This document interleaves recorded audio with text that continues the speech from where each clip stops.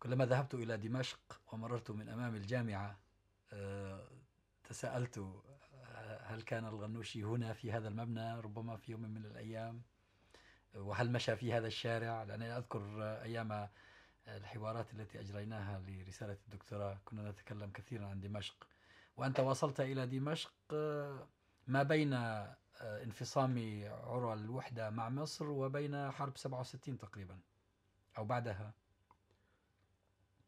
لا أنا بين 64 و 68 فحرب 67 أنا كنت هناك يعني. كنت في دمشق. كنت في دمشق. وحملت السلاح أنا يعني في تطوعت؟ تطوعت نعم. نزلنا إلى كطلبة قمنا بمظاهرة. نزلنا لشوارع دمشق. نطالب بحمل السلاح. وفعلا يعني مكنونا من قطع بسيطة يعني سلاح يوغسلافي رشاشات بسيطة. لكن ما نقلوكم إلى الجبهة. دربونا عليها هناك. لنتولى على أساس أن نتولى حماية البلد حماية الشوارع في صورة يعني وقع إنزال. آه، ولكن الحرب كانت يعني أسرع. فقط يعني كان نوع من الاستجابة الشكلية يعني شباب متحمسون نعطيهم أشياء هكذا لإسكاتهم. وهم يعلمون أن هذا لا لا يغني شيئا. ولكن بالنسبة لنا شعرنا بأنه أصبحت عندنا تملكتنا روحانية خاصة يعني. أننا شباب حاملون للسلاح و نتدرب لنتصدى للإنزال أو للغزو الصهيوني المنتظر. بل كنا في الحقيقة نتدرب على أساس أن نحمل إلى القدس. يعني هذا هو المشروع الذي كنا نطالب به أن آه، يعني أن نأخذ بعد التدريب إلى القدس. هل كان الجو العام جو استنفار حقيقي بين الناس؟ يعني الناس كانوا يأخذون هذه الحرب على مأخذ الجد؟ الحقيقة الجو في دمشق في ذلك الوقت يعني آه، كان جو إشكالي جدلي يعني الناس لم ما كانت هنالك تعبئة للحرب. كان هنالك آمال كثيرة. الناس كانوا آه، أقصد الناس هنا أهل الحكم. الثقافة الشائعة التي يشيعونها بأن الأمر محتاج إلى معركة فقط حتى ينتهي المشروع الإسرائيلي. نحن في الجامعة الطلبة كان يدور حوار شديد بين الطلبة الإسلاميين وأنا صرت منهم وبين الطلبة القوميين حول هذه الحرب. الذين كنت منهم سابقا. الذين كنت الذين كنت منهم سابقا. القوميون كانوا كانوا ممتلئين املا على أنه يعني سنمضي بقية الصيف على شواطئ حيفا. يعني هذا هو الفكرة. الطلبة الإسلاميون كانوا يصرون على أن ستكون هزيمة على أنه لن يكون هنالك نصر وذلك اعتمادا على مبدأ عقائدي على أساس أنه هذه الأنظمة منحرفة عن الإسلام فلا يمكن أن تحقق نصرا. ولذلك لما وقعت الحرب كان كان هناك جدل حقيقي في الوسط الإسلامي هل نتطوع في هذا المجهود الحربي رغم علمنا بأنه ما عندوش أفاق. وناس يقولون بأن لا يجوز الحرب تحت هذه الراية البعثية لا أصلا غير جائز الحرب تحت هذه الراية الجاهلية البعثية. وآخرون وأنا كنت منهم أن أن أن هذا الموضوع الآن ينبغي أن ننساه.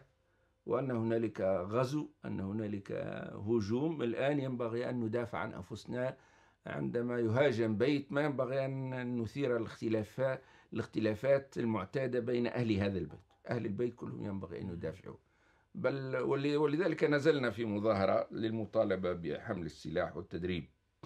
بل الطلبة التونسيون في الحقيقة هناك وقد كان يمكن 80 أو 100 طالب تونسي انقسموا إلى قسمين منهم من يعني السفارة التونسية ما كانش فيه سفارة تونسية في دمشق لأنها كانت أحرقت على إثر خطاب بورقيبة في أريحة.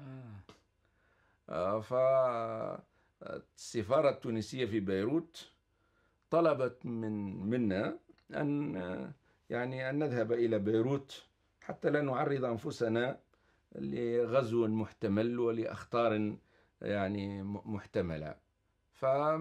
فمن الطلبة من استجاب ومنهم وأنا كنت من هؤلاء أنه, أنه هؤلاء يأوونا فينبغي أن يعني الحد الأدنى من الوفاء لبلد أوانا وعلمنا وصرف علينا أن لا, لا نهرب نتركه لحاله في محنته ولذلك كنت مع هؤلاء كيف حدثت نعم. الهجرة من التيار القومي إلى التيار الإسلامي؟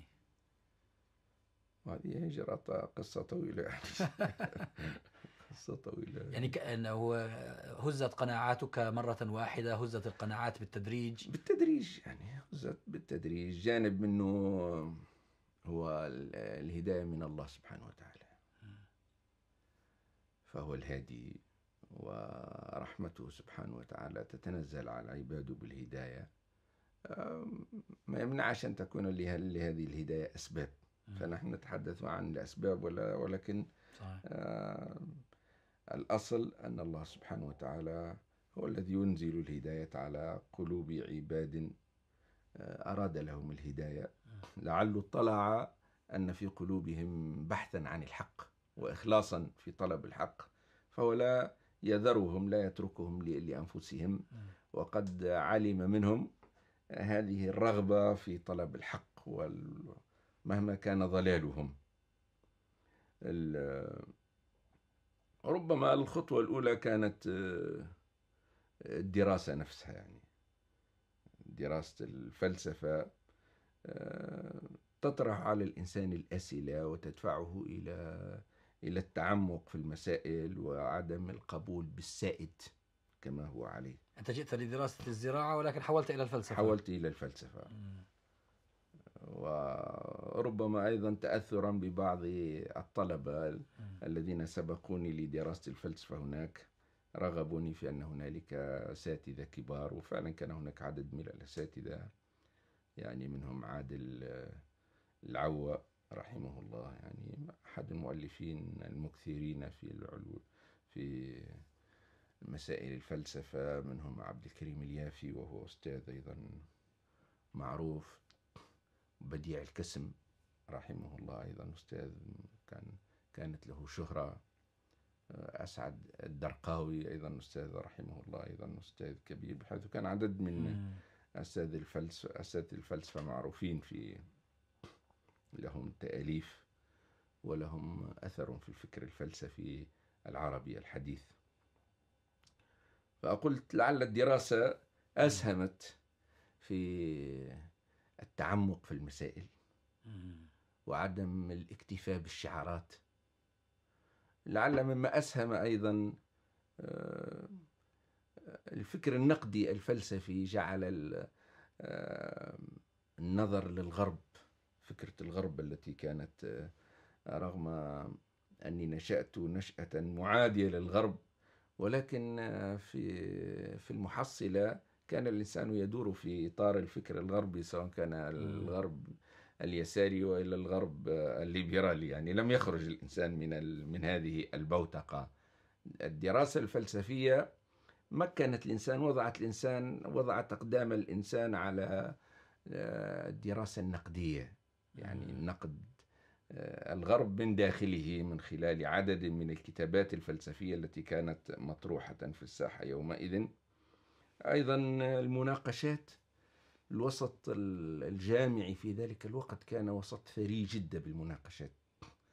حزب البعث كان في بدايته لم لم لم يكن قد وضع بعد يده على الجامعة وعلى وعلى المجتمع. فالمجتمع السوري كان مجتمع يضج بالمناقشات وبالمجادلات.